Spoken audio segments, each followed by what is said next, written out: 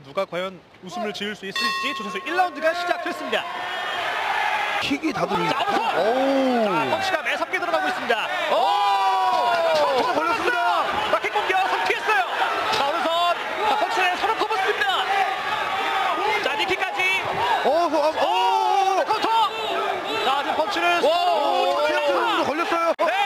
자, 서로 가다 오. 올리고 커버습니다. 자, 어떻게 될지 어떻게 될지. 자, 화끈합니다. 될지 모르겠어요. 자, 득점. 오. 네.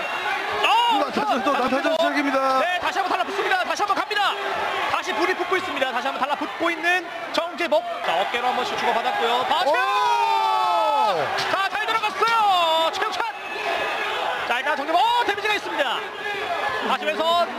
자, 1분 남아있는 1라운드. 자, 이거 아직 2라운드 아니거든요. 자, 펑션을 주고받습니다. 오! 이번 정재복! 자, 지금 누가 이길지 모릅니다. 지금 정재복! 자, 오! 지금 계속 위협하면서 자, 지금 같은 박자로 지금 걸어내리고 있어요. 자, 니킥.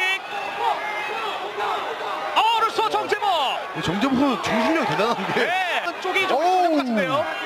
방금 정재복 선수 되게 키가 나왔습니다. 네.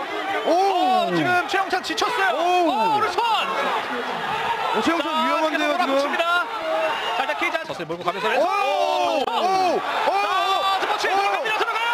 자, 기다리 오. 잡았어요. 그 오. 잡았어요.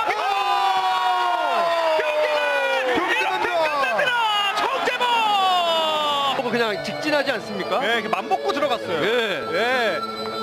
너 내가 2라운드 시작하자마자 제압할 거야. 나 이렇게 판정 안 가. 약간 이런 네. 느낌으로 예, 와. 자, 데뷔전인데 정말 레드코너 킹덤 MMA 정재복 선수가 승리했습니다. 자, 화끈했던 데뷔전 승리 정재복 선수입니다.